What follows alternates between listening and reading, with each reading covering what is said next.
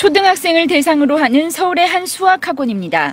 학교 수업이 끝나자 어린 초등학생들이 하나둘씩 학원으로 들어옵니다. 친구 학교에도 돌봄 교실 있어? 간단해요. 저는 근데 예전에는 1학년 때 지난해엔 초등학생 1, 2학년 반을 운영하지 않은 이 학원은 올해는 3개 반을 신설했습니다.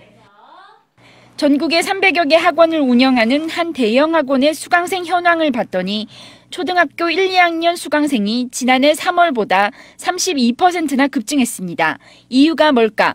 경기도의 경우 지난해 방과 후 돌봄 교실을 다녔던 초등 1학년생은 33,400여 명. 하지만 이 가운데 23,800여 명만 2학년이 돼서도 돌봄 교실을 계속 이용하고 있습니다. 2학년 지원 대상이 줄면서 맞벌이 가정 자녀 등 만 명 가까이는 갑자기 갈 곳이 없어진 겁니다. 7시까지 아이가 간식이라든지 이런 부분들을 해결할 수가 없는 어려움들이 있거든요. 학원이라도 보낼 수 있는 도시 지역은 그나마 상황이 나은 편입니다.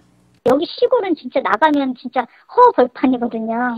그러니까 얘네들이 돌봄을 안 해도 학교에서 그냥 배회하는 거예요, 이제.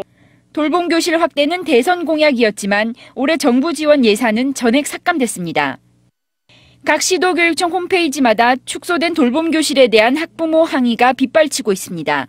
SBS 정혜진입니다.